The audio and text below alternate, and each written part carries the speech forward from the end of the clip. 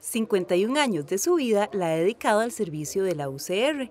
Don Federico Vargas fue ministro de Hacienda y el primer director de la Escuela de Economía de la UCR, lugar donde todavía ejerce como profesor.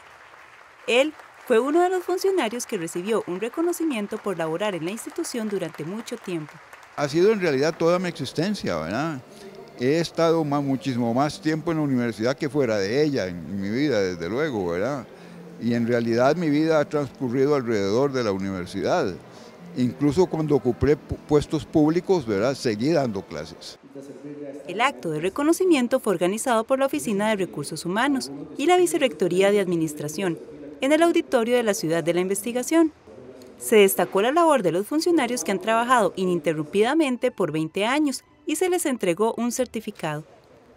Daniel Briceño, miembro del Consejo Universitario, destacó la contribución de estas personas en el fortalecimiento de la UCR durante los 75 años de la institución en el servicio del país. Ellos han logrado a través de su trabajo tesonero hacer que nuestra universidad esté en una de las posiciones más importantes a nivel latinoamericano y a nivel mundial.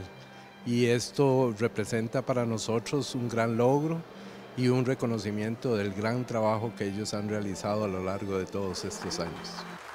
La entrega de estos reconocimientos se realiza cada año, con el fin de valorar la lealtad y dedicación de los funcionarios y funcionarias a la UCR, una institución que les brinda trabajo con el cual mantienen a sus familias a la vez que contribuyen al desarrollo social, de investigación y académico del país.